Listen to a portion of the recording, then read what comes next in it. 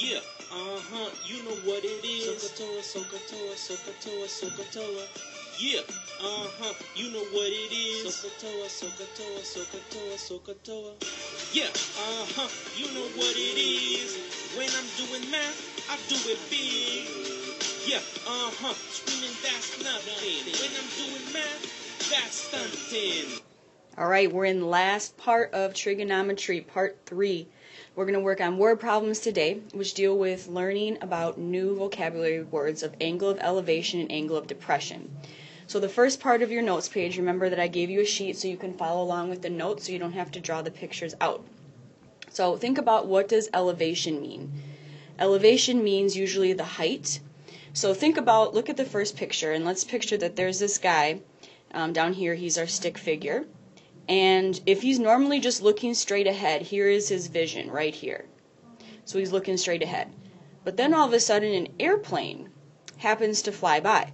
So then the angle that it takes his eyes from looking straight ahead to then looking straight up at the airplane, this is called the angle of elevation, which I will abbreviate as AOE, angle of elevation. So this degree, how many degrees it took from his eyes looking straight forward to looking straight up is calling the angle of elevation.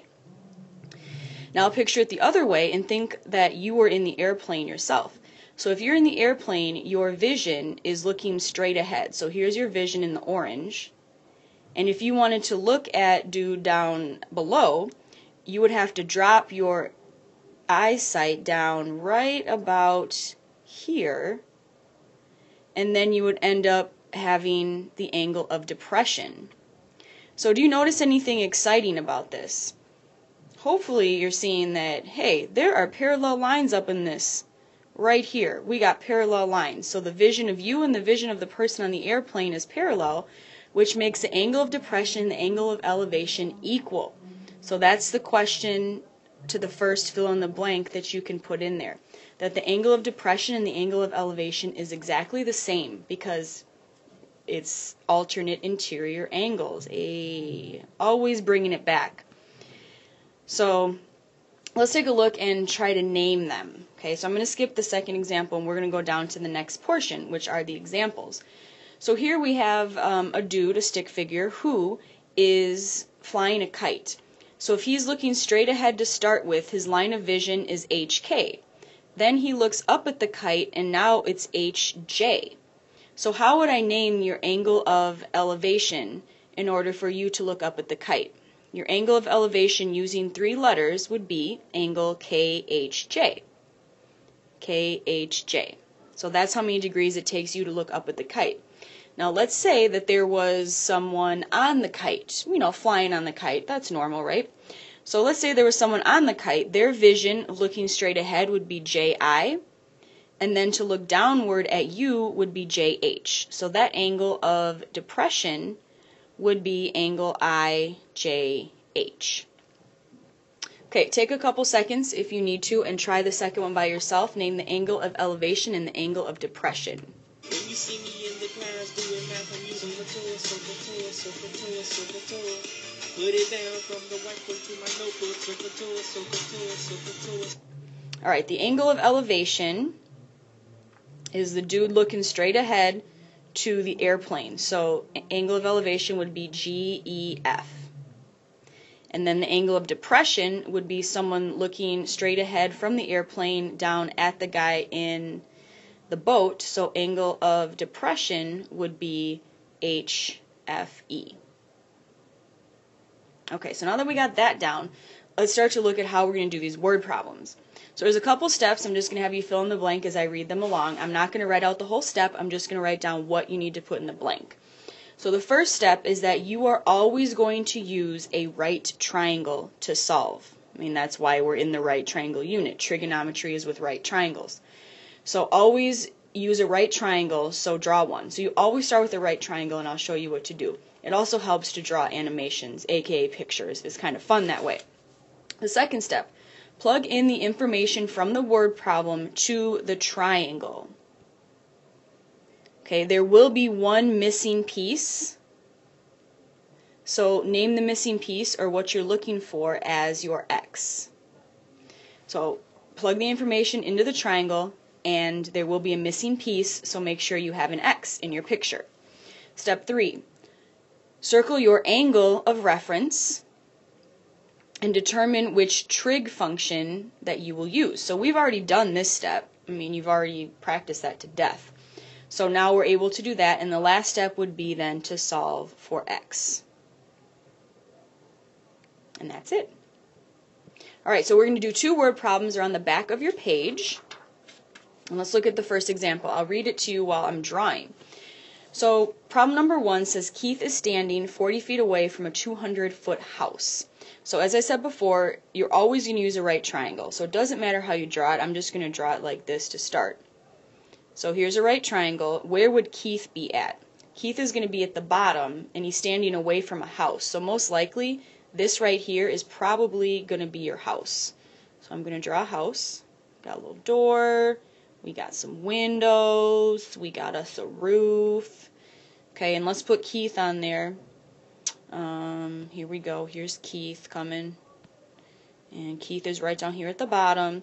So Keith um, is standing 40 feet away from a 200 foot house. So which one of these would represent the 40 feet away? The bottom here, he's that far away. That's the distance. That's going to be 20. And then it says that the house is 20 feet tall. So that's going to be, I'm sorry, 400 feet tall. 200 feet tall. I'm back this truck up. This is 40 and this is 200. Okay, so they want to know, or it says that he spots a rabid squirrel on top of the roof. Uh-oh, a rabid squirrel. I don't know if you've ever seen one of those, but it's not pleasant. So here is your rabid squirrel on top of the roof. And he's injured and in need of some assistance. So what would be the angle of elevation Keith uses to spy the squirrel? So here is Keith's vision. Keith's vision is right on the bottom here. So he's looking straight ahead. And so he we need to find out what's the angle of elevation to see the rabid squirrel. Hopefully you're thinking to yourself, I need to put the x right there because that is the angle of elevation.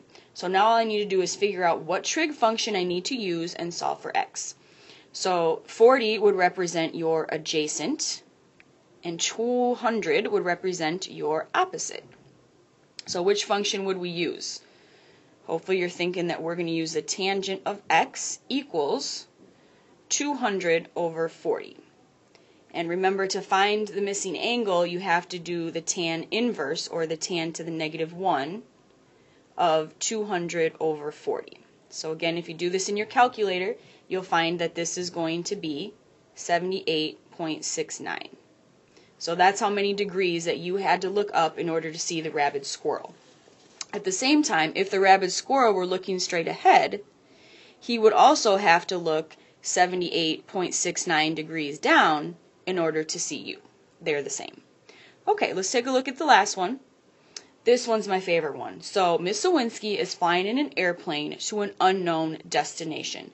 So let's um, go ahead and draw our right triangle. I'm going to just draw it the other way around so you can see it doesn't matter which way you draw your right triangle. It's all about if you have the right information. So we're going to go ahead and draw this airplane or put this airplane on here. So here's me in an airplane. And um, I'm super sad because I have to leave baby Jordy um, for the weekend. As I am in the air, I look down at baby Jordy and I shed a tear. So here's baby Jordy. Just in case you forgot what she looks like, here she is. So I look down at baby Jordy and I make an angle of depression of 48 degrees. So remember, here am I. I'm right here. I'm looking straight ahead. I have to look downward to baby Jordy at an angle of depression of 48 degrees.